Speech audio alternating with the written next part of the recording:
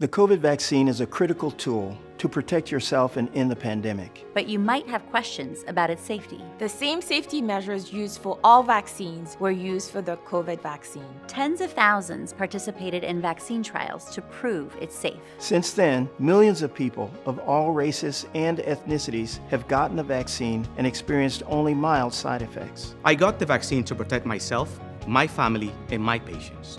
When it's your turn, trust the facts. Get the vax.